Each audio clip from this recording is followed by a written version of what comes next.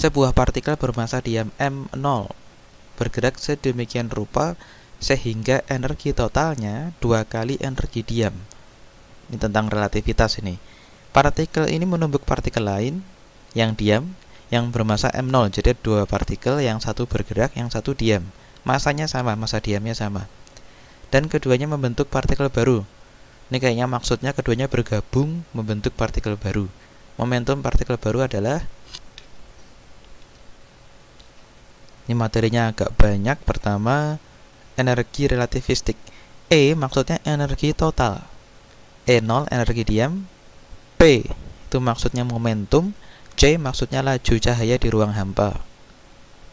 Sementara energi diam rumusannya adalah massa diam M0 dikali kuadrat laju cahaya. Ini tentang momentum, jadi kita butuh rumusan momentum relativistik. P itu momentum. Kalau di bab yang non relativistik, rumusan P mudah sekali, massa kali kecepatan. Tapi kalau kasusnya relativistik, dimodifikasi rumusnya jadi seperti ini, mantap ya rumusnya. V itu kelajuan atau kecepatan, C laju cahaya, M0 massa diam. Terakhir kita butuh kekekalan momentum. Total momentum awal sama dengan total momentum akhir. Yang diketahui ada partikel pertama energi totalnya dua kali energi diam. Kita anggap mas uh, sudah disebutkan ya masanya M0 ada partikel yang kedua awalnya diam jadi V nya 0 membentuk partikel baru kita anggap keduanya bergabung. Sip. Yang ditanyakan momentum partikel baru P aksen.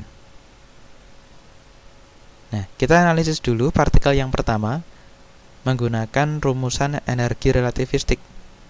Kita jabarkan. Kita pindah ruas. Sederhanakan didapat nanti akhirnya momentum partikel yang pertama. Ini dia. Lalu kita gunakan rumusan momentum relativistik untuk menghitung momentum partikel yang kedua.